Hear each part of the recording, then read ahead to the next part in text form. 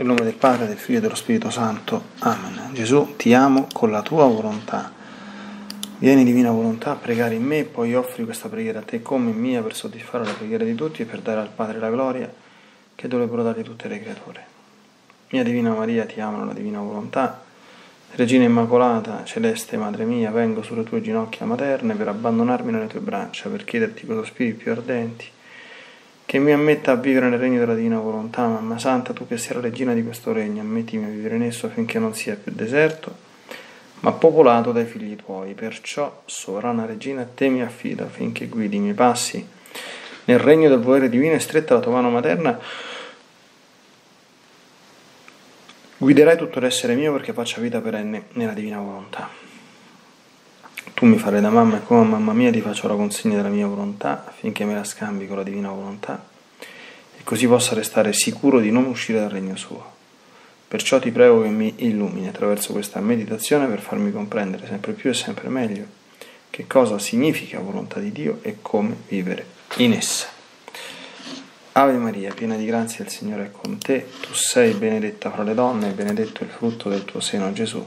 Santa Maria, Madre di Dio, prega per noi peccatori, adesso e nell'ora della nostra morte. Amen. Soli,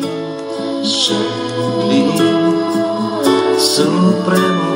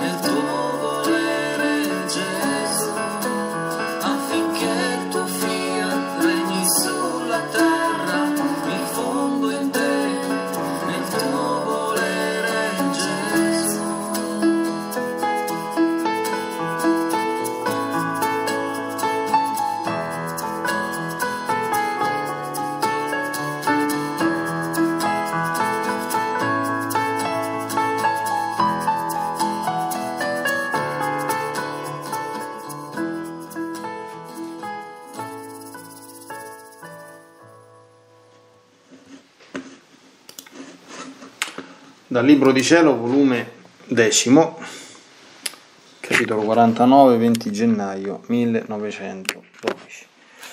Ritornando il mio sempre amabile Gesù continuava a farsi vedere che andava stringendo i cuori e le anime, resistendo a queste strettezze, la grazia restava inabilitata.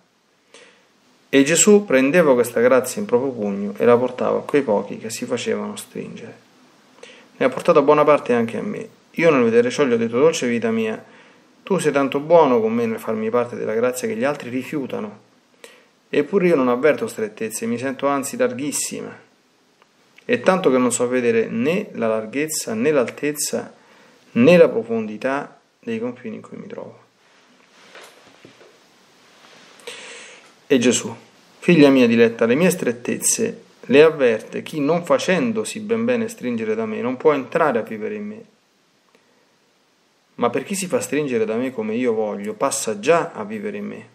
E vivendo in me tutto è larghezza, strettezze non esistono più.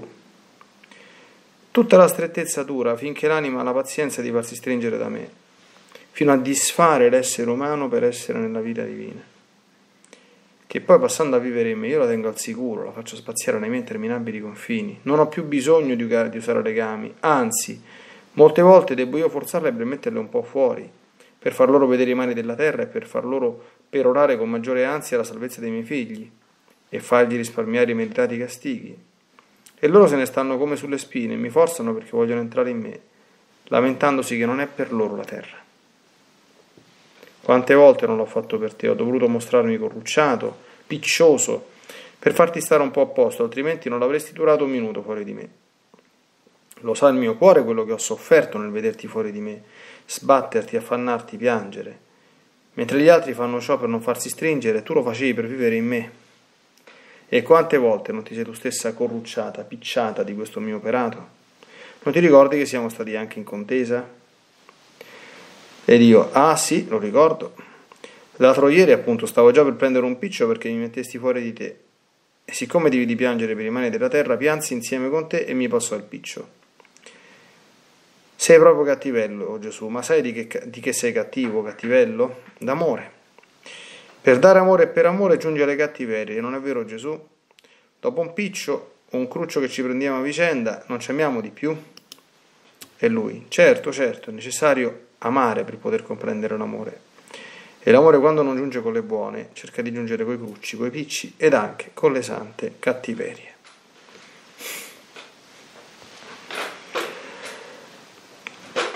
Capitolo 51, 2 febbraio 1912. Questa mattina, avendo offerto un'anima come vittima a Gesù, Gesù ha accettato l'offerta e mi ha detto, figlia mia, la prima cosa che voglio è l'unione dei voleri, devi darsi in preda alla mia volontà, devi essere il trastullo del mio volere. Starò tanto attento a guardare se tutto ciò che fa è connesso col mio volere, specie se è volontario, che delle cose involontarie non ne terrò conto, perché altrimenti, quando mi dirà che vuole essere la mia vittima, lo terrò come non detto. Secondo, all'unione del mio volere aggiungi vittima d'amore, Sarò geloso di tutto. Il vero amore non è più padrone di sé, ma è posseduto dalla persona amata. Terzo, vittima di immolazione. Tutto deve fare in attitudine di sacrificarsi per me, anche le cose più indifferenti. A questo sottentrerà la vittima di riparazione. Di tutto deve dolersi, di tutto ripararmi, di tutto compatirmi. Questo sarà il quarto punto.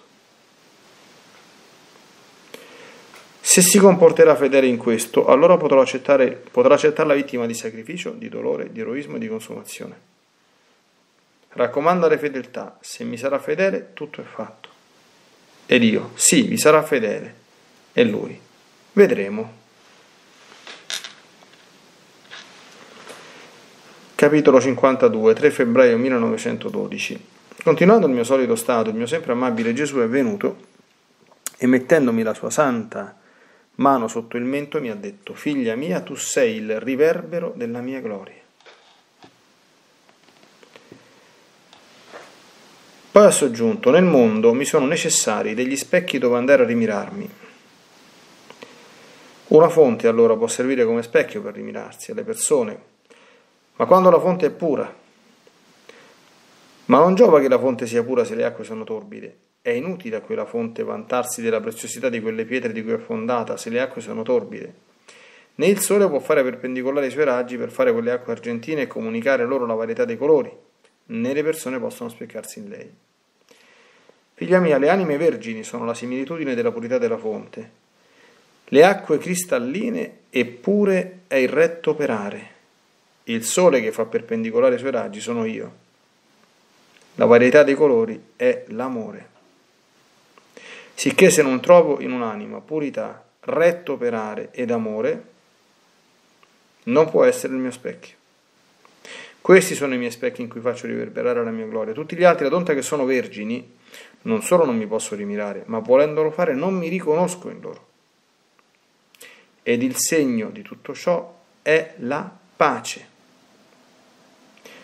Da questo riconoscerai quanti scarsissimi specchi tengono il mondo, perché pochissime sono le anime pacifiche.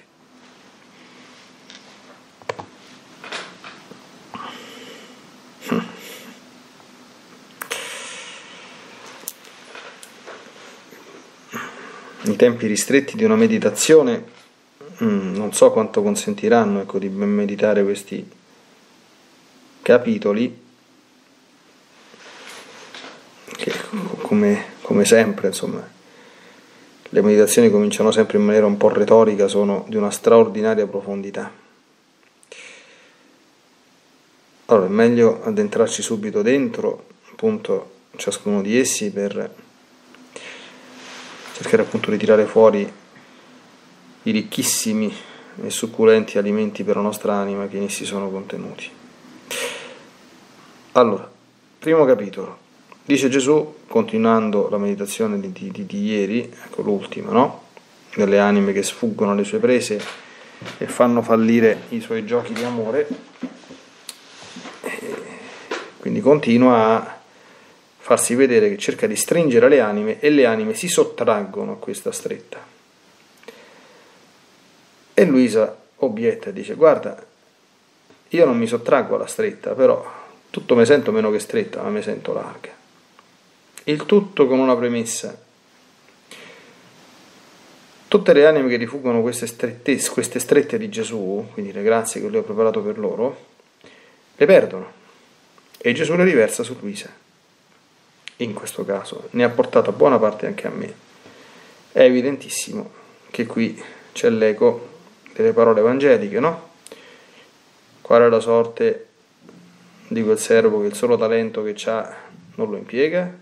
Toglietegli il talento e datelo a chi ne ha, ne ha altri dieci.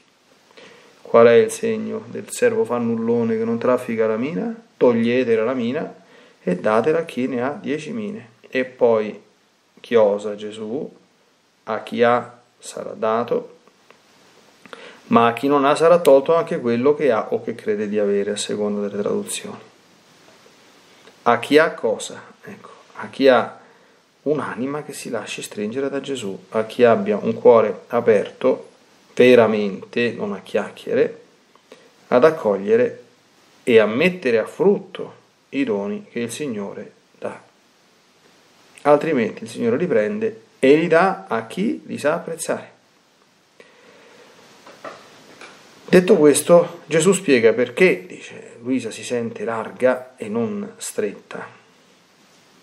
E dice, questo sembra un paradosso, quando un'anima si lascia stringere da me, entra in me, quindi entra nella mia dimensione, entra nei miei orizzonti. Può esistere per Dio qualche strettezza? Allora noi nel parlare comune per comprendere questa espressione, cosa diciamo? No? Quando c'è qualcosa dice, questa cosa mi sta un po' stretta, D'accordo? Oppure quando per esempio avvertiamo i divini voleri o i divini comandamenti, appunto come strettoie, no? Anche Gesù nel Vangelo dice sforzatevi di passare per la porta stretta. Ma per chi è stretta quella porta? è una strettezza assoluta o una strettezza relativa? È una strettezza relativa. Perché è chiaro che un'anima che, non, che, vuole fare la propria volontà si sente stretto dinanzi a qualunque cosa, grande o piccola che sia, perché avverte appunto la divina volontà come un limite, un qualche cosa che lo, che, che, lo che gli leva la pelle, insomma, che lo, che lo quarta, che lo, che lo guida come un gioco, no? Ecco. Gesù usa questa immagine nel Vangelo, dice prendete il mio gioco sopra di voi, però attenzione il mio gioco è dolce, il mio carico è leggero. Quindi è un gioco che non è gioco in realtà. Quando un'anima si lascia stringere da Gesù, che entra nella divina volontà, e che cosa significa? Lo spiega Gesù. Disfare l'essere umano per vivere nella vita divina. Dopodiché è finito strettezze. Quali strettezze? Quale cosa può andare stretta ad un'anima che vive nella, nella divina volontà? Proviamo a pensarci. Niente. Proprio niente. Anzi, se sa che qualcosa è gradita a Gesù e alla Madonna, anche se umanamente parlando fosse una cosa che comporta sacrificio o cose di questo genere, ma corre un matto a farla. E perché però? Perché ama. Quando muore la vita umana per vivere nella vita divina, io la tengo al sicuro, la faccio spaziare nei miei interminabili confini. E allora? Cosa dice Gesù? Non ho più bisogno di usare legami, cioè non è stare a, a cercare comunque con tanti espedienti, di cercare di riportarlo alla ragione, di fargli fare quello che vogliono. Lo, lo fa già, anzi, c'è un problema contrario. Cioè che l'anima è talmente tanto attaccata a me che quando qualche volta, dice Gesù, devo come dire, metterla fuori, ecco, forzatamente, quindi cosa vuol dire metterla fuori dalla sua presenza percepibile? Ed ecco qui tutto quanto il tema dei picci e dei, dei crucci che si prendono l'una, l'uno con l'altro, no? E lo devo fare perché devo fargli vedere i, i, mali della terra. E per, per farle dico, desiderare maggiormente la salvezza dei miei figli, indurle a offrirsi come a fare sacrifici, poi lo vedremo per risparmiare i meritati castighi. E però queste anime stanno, stanno nelle spine, lamentandosi che non è per loro la terra. Quindi attenzione che lamentandosi che non è per loro la terra, anche se sono disponibilissimi, come tutti quanti coloro che amano il Signore, a rimanere sulla terra anche cent'anni, se questo servisse per la gloria di Dio.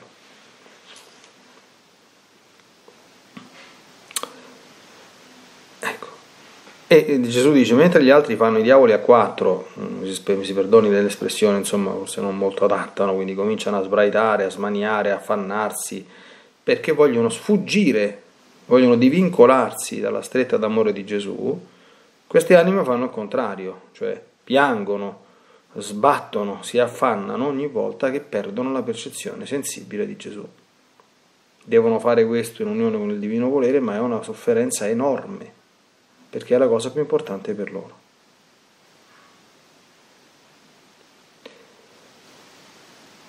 Capiamo quanti sono profondi gli, gli spunti di meditazione. La, la, la cosa più ovvia da dire, se io mi sento stretto nella vita con Gesù, stiamo ancora molto al di qua dei confini del, del divino volere. Perché se Gesù mi ha già stretto, io ho lasciato che mi stringesse, perché lui non, non fa le strette di, di forza o di violenza. Niente pesa. Ecco, diciamo, la considerazione su cui dobbiamo poi personalmente riflettere. È spettacolare il capitolo che parla dell'anima vittima.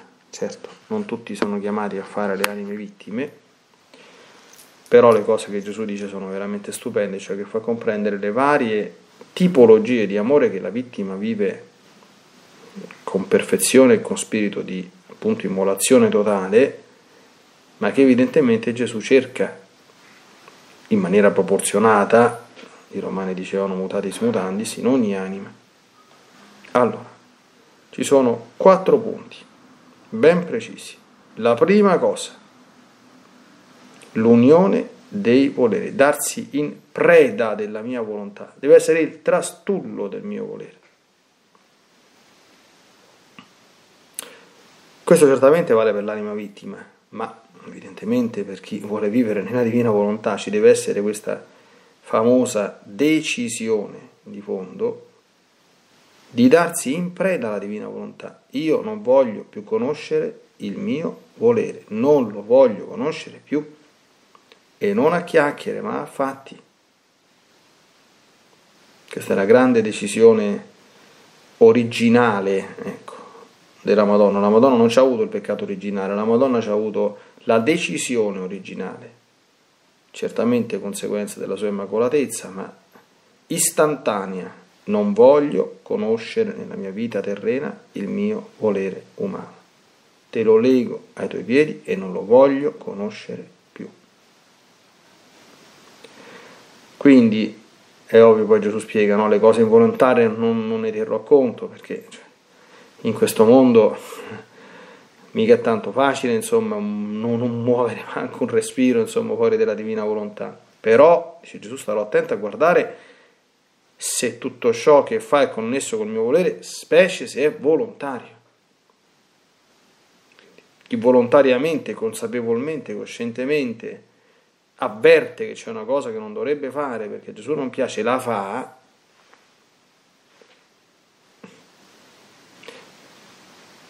non può essere anima vittima, ma non può neanche, come dire, pensare di crescere nella vita di unione con la divina volontà.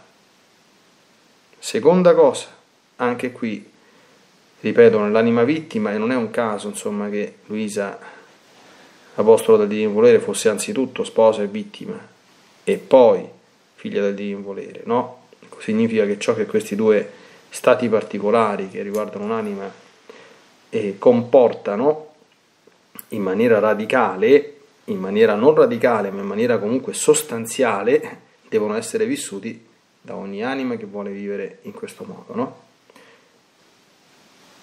vittima d'amore. Che significa? Significa che sarò geloso di tutto. Nella Sacra Scrittura qualcuno si scandalizza, ma già nell'Antico Testamento si trova scritto che Dio è un Dio geloso, ma non è un Dio geloso come vizio, come lo siamo noi, noi siamo gelosi perché vogliamo tutto per noi, perché siamo egoisti e non vogliamo dividere i nostri beni con nessuno, quando uno è geloso delle sue cose, delle persone, eccetera. Ma Dio è geloso perché se il cuore non è tutto per Lui, amerai il Signore Dio tuo con tutto il cuore, con tutta l'anima, con tutte le forze, la persona non sarà felice.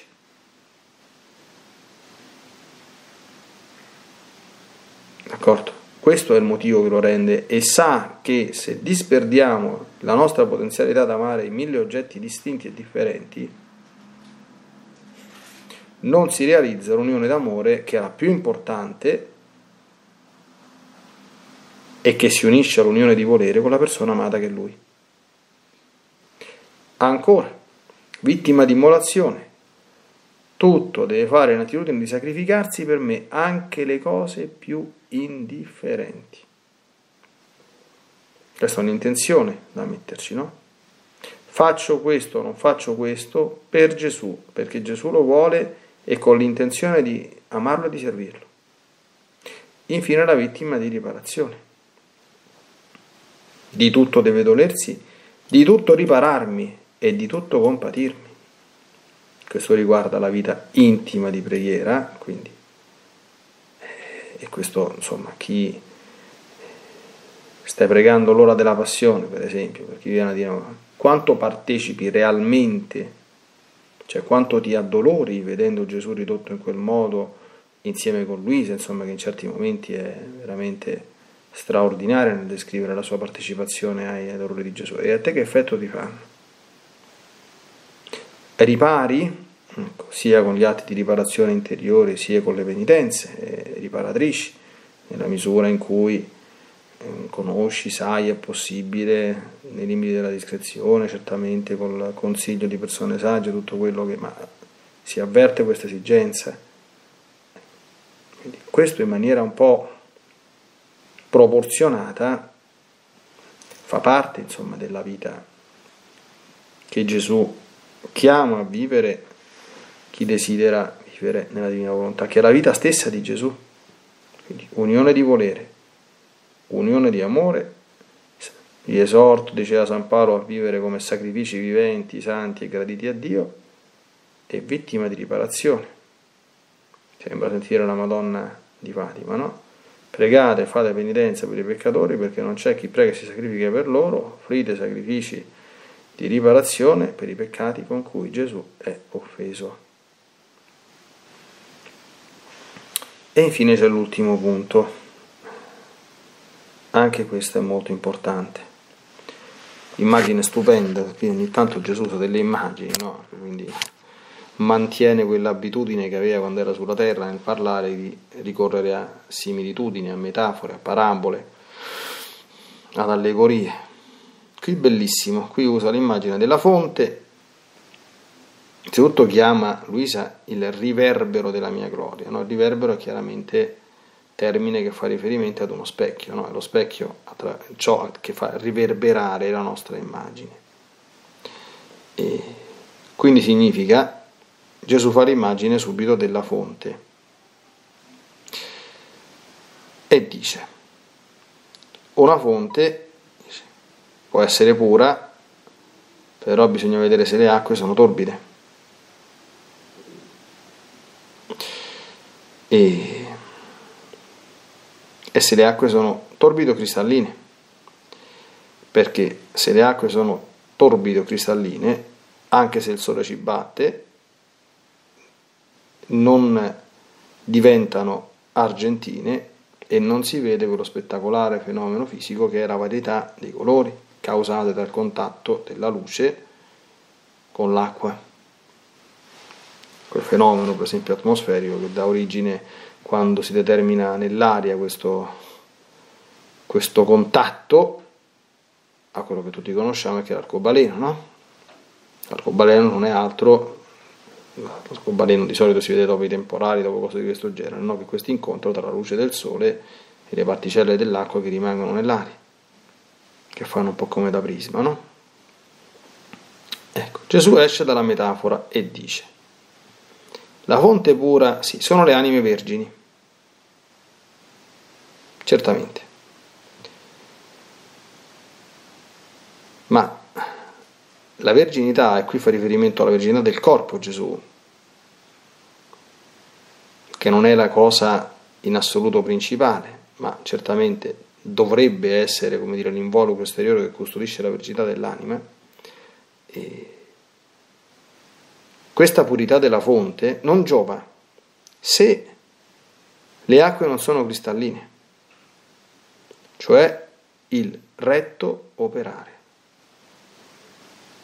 in tutto.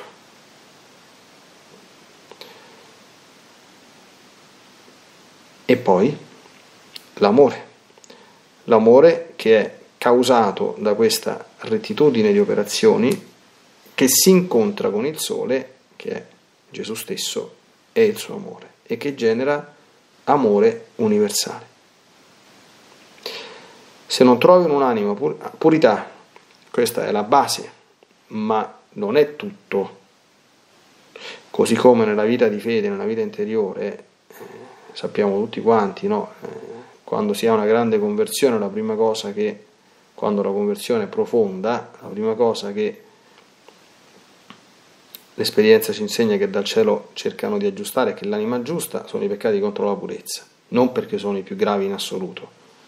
D'accordo? Non sono i peccati più gravi in assoluto, perché è più grave fare una comunione sacrilega che fare una, peccato contro la, la purezza, ma perché sono i più diffusi, i più reiterati, i più mortificanti per l'essere umano, per la dignità dell'essere umano e, e quelli che producono tra l'altro un sacco di danni e che danno luogo praticamente sempre, per quanto riguarda la, la materia, a gravità, perché la materia del de, de, sexto è sempre grave. Ecco, però non è che un'anima che non commette più gli atti impuri è santa, assolutamente. Diciamo che quello è il punto di partenza, perché se non commette mai gli atti impuri, facciamo un esempio comune, poi c'è una lingua senza padroni, eh, sparla, parla e sparla a destra e a manca, è litigiosa, iraconda, irascibile, superba, arrogante, cioè, capito che, che, che è pura, ma non, non abbiamo finito, insomma, no? Quindi le acque sono sicuramente torbide, Certo, la sorgente è diventata pura, è meglio una sorgente pura che una sorgente comunque violata, però non è sufficiente questo. Così come non è sufficiente ad un'anima eh, che voglia appunto essere tutta di Gesù, la sola, ecco, appunto purezza esteriore che pure è importantissima, no? Occorre vedere le opere. Gesù dice non chi dice Signore, Signore entra nel regno dei cieli, ma chi fa la volontà del Padre mio. E l'amore. Dice, se ci sono queste cose, io mi specchio in quell'anima. Ma se queste cose non ci sono, non solo non mi posso rimirare, ma io non mi riconosco in loro, pur volendolo fare. Come può riconoscersi Gesù in un'anima che per esempio è, ripeto, superba, arrogante, orgogliosa, iraconda, ciarliera, chiacchierona, sparla, e, che ne so, e, provoca contese, litigi, giudica, intende sempre a male le intenzioni, è rancorosa, si offende, non, non perdona, b, perde un sacco, butta, si, si, si, perde in mezzo a una montagna di, di di frivolezze, di cose inutili, che ne so, è vanitoso, che, tutto quello che ci può venire in mente. Dove sta? Cioè, cioè, Gesù come fa a specchiarsi? Dice, io non riconosco la mia immagine, non mi assomiglia questa qui. È chiaro questo qua, no? Dice, come faccio a capire che, perché tutti quanti di noi dice, eh, sarò un po' superbo, eh, sarò, dice, ma come faccio a capire che che io sono uno specchio di Gesù. E qui ritorna uno dei temi ricorrenti, non solo in questi scritti, ma in tutta la scetica cattolica. Sono anime pacifiche. il segno di tutto ciò è la pace. Un'anima in pena, come la chiamiamo, un'anima inquieta, un'anima turbata, un'anima che non trova la terra sotto, che, che, che sotto, sotto, sotto i piedi, ha qualcosa o molte cose che non vanno.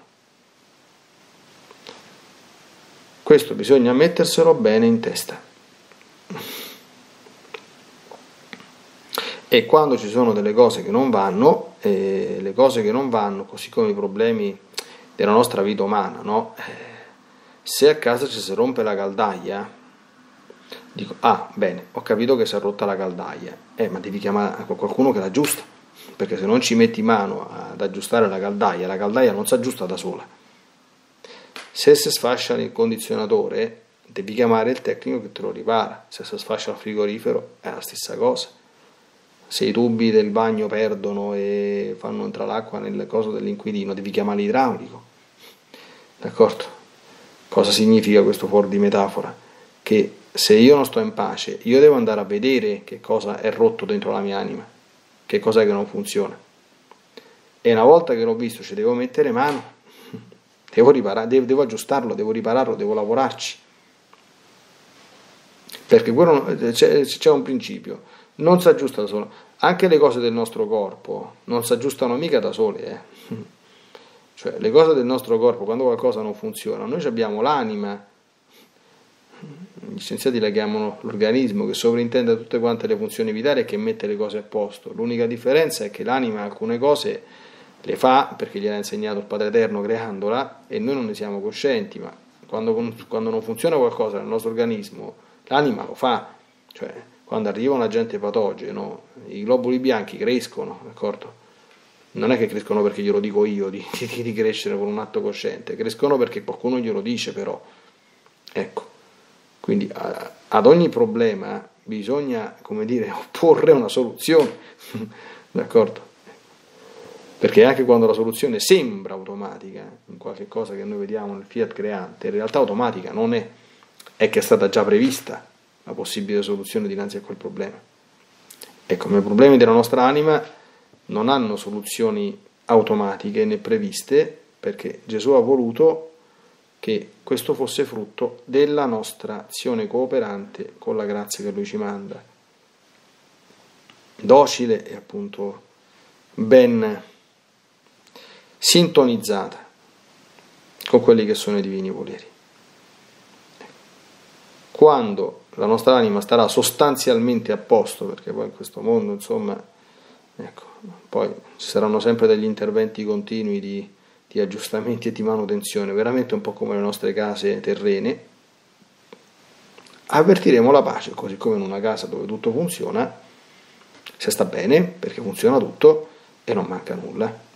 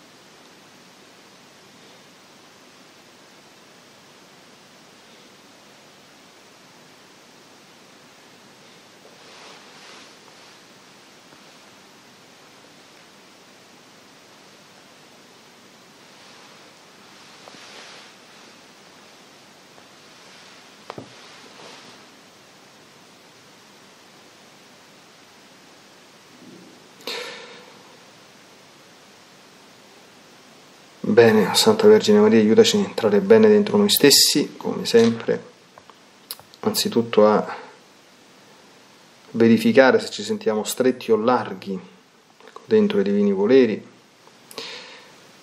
a quanto la nostra volontà è fusa con quella divina, a quanto il nostro amore è concentrato su Gesù solo ed egli è il principio e il fine di ogni nostra azione.